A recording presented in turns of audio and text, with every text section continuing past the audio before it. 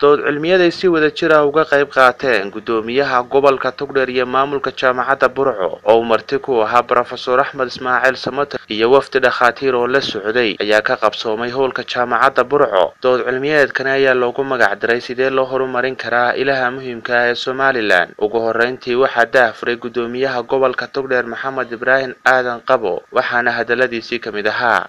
Waxaan aada iyo aad ugu faraxsanay se wanaagsan ee soo ajiibteen ee noogu timaadeen ee noola rumayseen soo dhaweynta wuxuu inaga mudan yahy intan iyo in ka badanba uu inaga mudan yahy inaynu qofkeenna aqoonta leh ee ilaahay naga dhaliyey ee nagu dhex nool in aynu intuu noolyihi in la muuneeyo.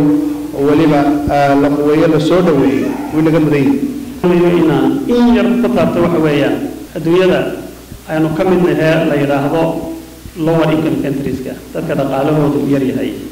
Waxa ugu badan ee ku dhaca waa xanuunada la kala faaqaada ee ama carruurta iyo cudurrada dhalmada la xidhiidha iyo nutritionka malnutrition saddexaasaa ugu badan. Innaga soomaaliya oo dhan marka la isku daro kollay macluumaad somaliland keliya aada uma badna boqolkiiba waxa la toddobaatan waa kuwa. Marka kuwaasi iyaga waa kuwa aynu in badan soo baranay sida loola tacaalo oo still dhibaatay nagu hayaan laakiin de u n h c r iyo u n w h o iyo hay'adaha aragteen baa aada uga shaqeeya qaybta kale ee boqolkiiba soddon dadkeenu u dhintaan waxa weeyaan waa accidentka iyo wax non communicable disease la yidhaahdo ay ka mid yihiin wadna xanuunka iyo sambabada iyo macaanka iyo kansarka. Afartaas la isku daray. Waxaa hadalka qaatay brofesor axmed ismaaciil samater waxaana hadaladiisii ka mid ahaa. Axmed maxamed maxamuud keligii waxa ma qaban kareen nothing.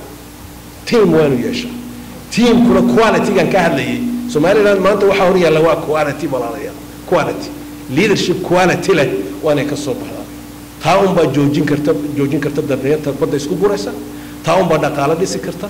Taa unbaa soo unbaa noolayn karta wadajirka somaliland oo caashiq cusub keeni karta.